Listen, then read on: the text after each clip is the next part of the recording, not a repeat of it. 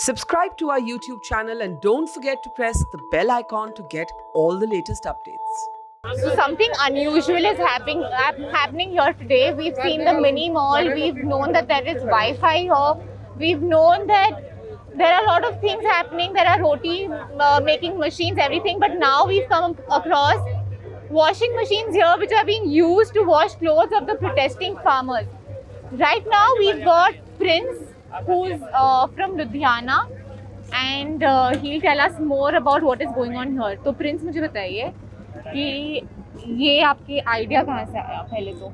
Idea ऐसे है जी हम छब्बीस तरीक को आए हुए थे संघर्ष के साथ सभी लोगों के साथ। और हमारे ना दस दिन के बाद हमारे कपड़े गंदे हो गए थे। हम अपने कपड़े धुलवाने के लिए अपने घर गए अ, छः हम दोस्त थे हमारे। और आते हुए हम तीसरे दिन जब लौटे दोबारा तो हमारे दिमाग में आया कि जो हमारे साथी हैं, उनको भी यही प्रॉब्लम आ रही होगी, जो हमें आई हुई है। और ऐसे ही हमारे जो संघर्ष में आए हुए बुज़ुर्ग हैं, वो भी अपने घर को वापस नहीं आ सकते। तो फिर हम आते हुए दो मशीन लेके आए अपने साथ घर से, और अपने पैसे की। और उसके बाद जैसे ही हमने इंस्टॉल की तो ऐसी भीड़ लोगों की, यानी किसानों की शुरू हो गई। तो फिर हमने दो मशीनें और लगाई, अब हमारी चार मशीनें चल रही हैं इस टाइम तो आप ये सब मशीनें लुधियाना से लेके आए हो? हाँ जी तो हम लुधियाना से लेके आए थे। दो मशीनें हमारे दिल्ली के एक भाई हैं उन्हें हम प्रोवाइड करवा के गए हैं। तो अभी कितने कपड़े आते होंगे दिन के यहाँ पे? तकरीबन 300 अ, किसान भाई हमारे पास डेली आते हैं जी। उनके कपड़े की हमारे से गिनती नहीं हुई क्योंकि एक दिन हमने शुरू की तो बहुत ज़्यादा कपड़े थे किसी के दस हैं पंद्रह हैं। जितने भी होते हैं अपने वो धुलवाने के लिए लेके आते हैं। तो आप कैसे सिस्टम कैसे मेंटेन करते हो कि अभी कोई एक जन आया चार कपड़े लेके आया फिर वो कैसे लेके जाएँगे? यहाँ पे खो नहीं जाते कपड़े का कैसा? नहीं बहुत कम ऐसी दिक्कत आती है। एक दो बार हुआ भी है और जो कपड़े किसी से मिस्टेक से चले भी गए ना किसी और के पास तो वापस हमें वो आके दे जाते हैं कि भाई मेरे कपड़े नहीं है। और जिसके होते हैं वो बंदा ले जाता है। बाद में वैसे ज़्यादा मिस्टेक होती है क्योंकि सामने खड़े रहते हैं जिसके भी कपड़े धुलते हैं सूखते हैं वो अपना ध्यान रखता है कि अभी मेरे मिलने वाले हैं कपड़े तो कपड़े। कितना टाइम लगता है एक कपड़े धोने में? पच्चीस तीस मिनट जी। तो यहाँ पे 25-30 मिनट रुके रहते हैं। हाँ जी। और फिर जाते हैं। तो ये जो आप ये जो डिटर्जेंट पाउडर है जितना भी सब लग रहा है वो भी आप खुद ही लेके पहले हम लेके आए थे जी अपने साथ साथ बीस दिन पहले। और बाद में तो हमें जो हमारे किसान भाई पंजाब से आ रहे हैं ना जिनको पता लगता है कि मशीनें चल रही हैं वो वहाँ से लेके आते हैं। कोई पाँच किलो लेके आता है कोई दो किलो। और दिल्ली के हमारे भाई हमारी मदद बहुत करते हैं वो आते हैं अपने इधर देखने अपने संघर्ष में आते हैं तो जो चीज़ की ज़रूरत होती है हमें पूछ के अगले दिन हमें सर्फ और जो भी चीज़ चाहिए दे के जाते हैं। अच्छा तो ये यहाँ पे जो पानी एक तो आपको पानी लगेगा यहाँ पे इलेक्ट्रिसिटी लगेगा तो इसका अरेंजमेंट फिर कैसे होता है? हाँ जी हमारे ना हरियाणा के भाई हैं जी उनका यहाँ बजरी का क्रैशर का काम था। तो पहले हमने उनसे जब मशीनें लेके आनी थी और उनसे फ़ोन से बात हुई कि भाई हम मशीन लगाएँगे आपको पानी और बिजली आपसे चाहिए तो वो बोलते कोई दिक्कत नहीं है। हम भी इस सेवा में हिस्सा डालेंगे और उन्होंने हमें बिजली और पानी दिया हुआ है। कितने घंटे चलाते हैं ये मशीन? नौ बजे शुरू हो जाते हैं साढ़े नौ बजे। हाँ। तो शाम तकरीबन साढ़े पाँच बजे तक हमारे पास ऐसी भीड़ लगी रहती है। अच्छा तो आपके कितने लोग हैं यहाँ पे जो आपकी मदद कर रहे हैं? कितने वॉलंटियर्स हैं? पहले तो ही मैं अकेला ही आया था जब पहले दिन काम शुरू किया।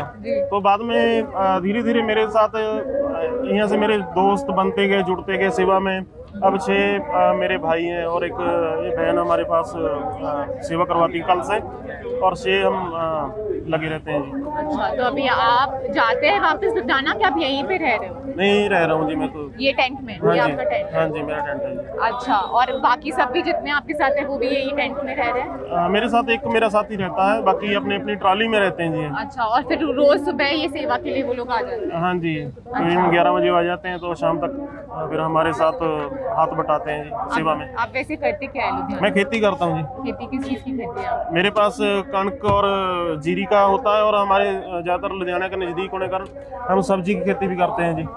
जैसे आलू हो और गोभी और मूली। हाँ जी। तो आप क्या कहना चाहेंगे? सरकार को कोई मैसेज सरकार को मैसेज तो यही है कि जो हमारी मांगे हैं ना, ये नजायज़ नहीं है, बिल्कुल जायज़ मांगे हैं। हमने कुछ सरकार से नजायज़ नहीं मांग रहे हैं। और जो सरकार, मैं तो हैरान हूँ, वो कहते हैं ना कि आपको पूरे इंडिया में व्यापार करने का, किसान को हक दे दिया। मैं पहले भी अपनी जो फ़सल थी, वो हरियाणा में बेच के जाता था। मुझे कोई नहीं रोकता था कि तू हरियाणा में क्यों बेचता है, क्योंकि ये इंडिया का हिस्सा है।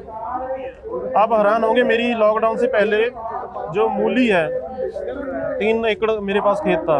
वो सारी दिल्ली का व्यापारी लेके जाता था, लुधियाने से उठाता था। अभी भी उठाते हैं लोग। आप जाके चेक कर सकते हो मंडियों में। तो पहले भी हमारे पास तो एक कोई नया कानून में नया हमें कुछ नहीं दिया गया, बल्कि किसानों को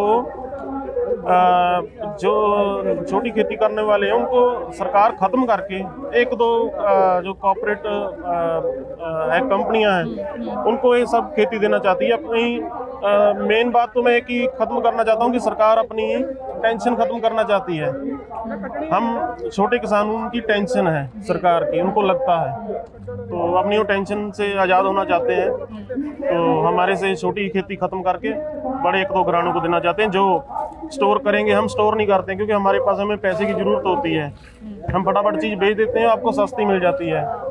जब बड़े आएँगे कॉपरेटिव घराने आएँगे, वो अपनी स्टोर पहले ही उनका पहले मकसद है। और एक बिल में भी जो अमेंडमेंट की गई है दो बिल हैं और एक अमेंडमेंट हुई है, जो तीसरे की, तीसरा बिल पास नहीं हुआ है। उसमें क्या है, पहले हम कोई भी व्यापारी अपनी क्षमता से ज़्यादा वो स्टोर नहीं कर सकता था, क्योंकि उसका असर लोगों पे, आम जनता पर पड़ता है। पर इन्होंने वो सबसे काला कानून पास किया। कोई भी व्यापारी, बहुत चाहे जितना मर्ज़ी कणक, जीरी दाल, सब कुछ स्टोर कर सकता है। जब उसका दाम बढ़ेगा फिर वो बेचेगा। उसरा उसका असर पड़ेगा हम आम जनता पे। और हमारी लड़ाई है हमारा हम हम कहते हैं कि आटा पच्चीस तीस रुपए लोगों को मिलता रहे। हमसे बीस दो रुपये लेते हैं तो तीन चार रुपए लोगों को मिलता रहे। पर जो आ, बड़े कॉपरेट हैं ये क्या करेंगे कि आटा सौ रुपये बेचेंगे।